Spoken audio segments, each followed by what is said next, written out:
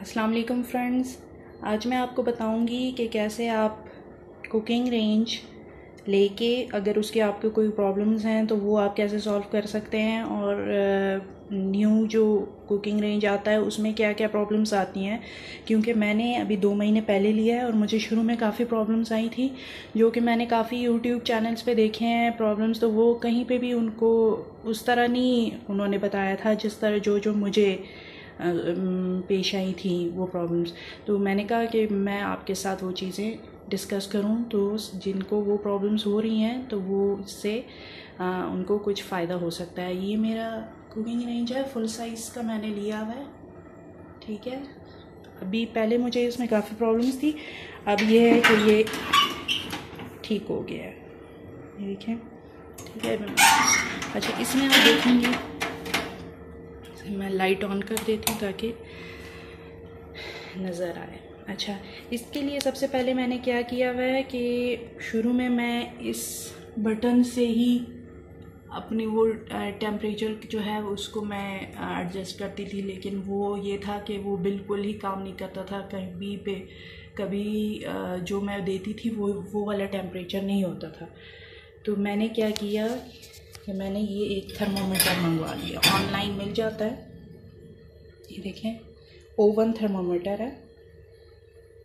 किसी शेप और दूसरी तरह के भी होते हैं। आप ये मंगवा लें तो ज़्यादा अच्छा है, काफ़ी एक्सपेंसिव नहीं है काफ़ी चीप प्राइस में आपको मिल जाती है। अच्छा चलिए, ये अब मैंने इसमें लटका दिया है तो वो ये है कि जब मैं ऑन करती हूँ, अब मुझे आइडिया हो गया है कि किस नंबर पे मेरा कौन सा जो रिक्वायर्ड टेम्परेचर है, वो आ जाता है। ठीक है?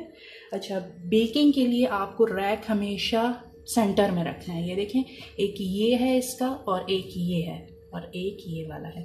तो आपको इसको बेकिंग केक के लिए या जो भी है, आपको इसको सेंटर में रखना है। तो वो ज़्यादा उसका अच्छा रहता है। मुझे शुरू में ये था कि मैं नीचे रखती थी ताकि मुझे लगता था कि इसकी हीट नीचे से सही आएगी, लेकिन वो उस तरह उसका रिज़ल्ट नहीं आता था। अब मैं ये है कि इसको मैं सेंटर में रखती हूँ तो वो उसका बहुत अच्छा रिज़ल्ट आता है। अच्छा दूसरा ये है कि आपको तकरीबन 15 मिनट्स पहले आपको इसको प्री हीट करना है। ये ऑन करके, मैं आपको इसका ऑन करने का तरीका बता देती हूँ। इसके लिए हमेशा आप लाइटर ही रखें। गैस लाइटर जो होता है वो रखें तो वो ज़्यादा अच्छा है क्योंकि हाथ से काफ़ी अंदर होता है तो वो आग लगने का ख़तरा होता है। ठीक है? ये मैं इसको ऑन करती हूँ। जैसे ही बटन आप ऑन करेंगे तो फ़ौर से ही आपने इसको ऑन कर देना है।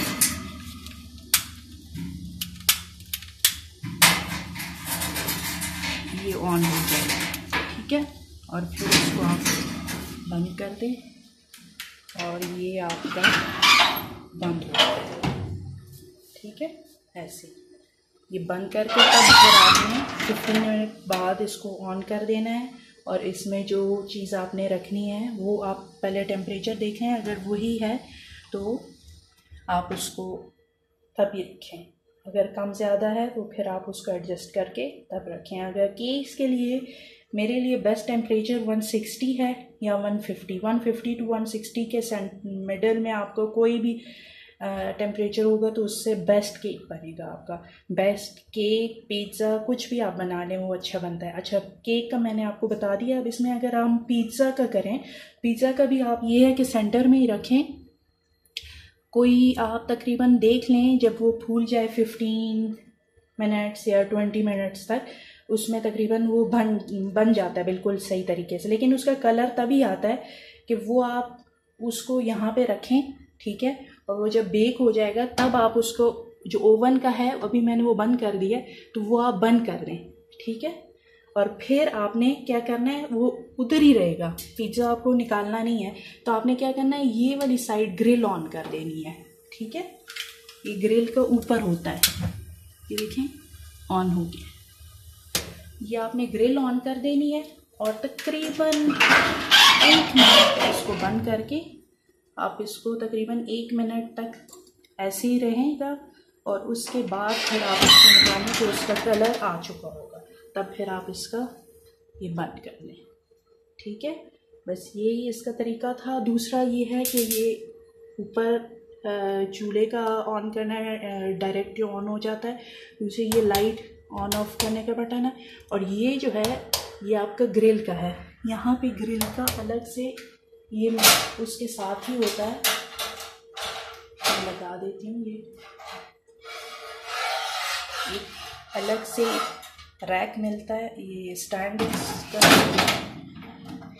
काफ़ी बड़ा होता है। इसको मुझे नहीं चाहिए था तो मैंने अंदर से हटा दिया। आप इसको लगा के ये देखें, इसके साथ ये दो स्टिक्स मिलती हैं।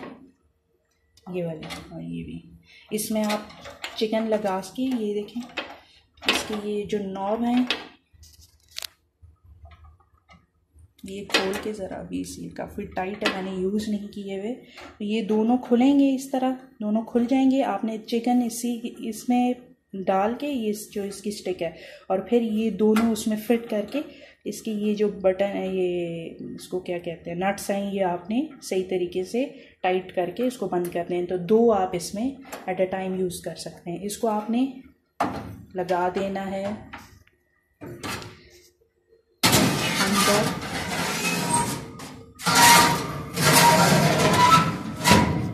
लगा देंगे, ठीक है।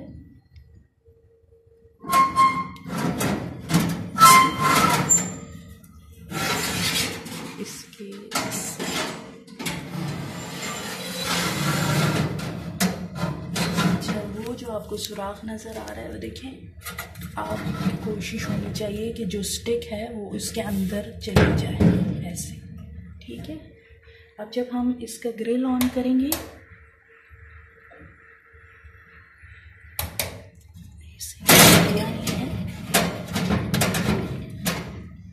जब ग्रिल ऑन करेंगे तो ये उसका खुद ही, ये देखें अब ये सर्कुलेट हो रहा है। आपको नज़र आ रहा होगा। अच्छा ये खुद ही इसी तरह घूमता जाएगा और फिर आपने ऊपर ग्रिल ऑन कर देनी है, ठीक है? ग्रिल ऑन कर देना है, ये दूसरा बटन जो है, इस तरफ़। ये आप ऑन करेंगे और फिर आपने उसको देखना है कि कितने टाइम तक वो बनता है तो तब आपका वो चिकन है या जो भी आपका है, वो बन जाएगा। अब हम इसको ऑफ़ कर देते हैं। ठीक है? और अच्छा जब नया आता है तो आप उससे घबराना नहीं है। जब इसका हम ग्रिल ऑन करते हैं, जो राइट साइड पे इसका बटन है, वो ऊपर वाला, वो जब ऑन करते हैं तो ऊपर से काफ़ी धुआँ सा निकलता है। आपने वो ये करना है कि तकरीबन इसको दस मिनट तक ऑन ही रखना है और दरवाज़ा बिल्कुल खुला छोड़ दें ताकि वो जो धुआँ है, उसका पेंट का जो धुआँ आता है, वो हट जाए। तो फिर आपका कभी भी वो धुआँ नहीं करेगा। वो बस आपने फ़र्स्ट टाइम अगर यूज़ कर रहे हैं तो उसका वो धुआँ आता जाएगा और वो फिर ख़त्म हो जाता है खुद ही। बस यही है ग्रिल आपको नहीं यूज़ करना तो आपने इसको उतार देना है, आपको ये रैक यूज़ करना है। वो बेशक आप इसको लगे रहने थे अच्छा इसमें एक और ट्रे भी आती है, वो मैंने हटा दी है। सिर्फ़ इसका जो अपना नीचे वाला है, वही मैंने लगाया हुआ है। तो इसका बहुत अच्छा रिज़ल्ट आ रहा है, माशाल्लाह। और मैं अब काफ़ी खुश हूँ इससे। आप लोग भी लें और यूज़ करें। छोटे बड़े का कोई साइज़ का इशू नहीं है। सेम ही तरीका है छोटे ओवन का, ये कुकिंग रेंज का।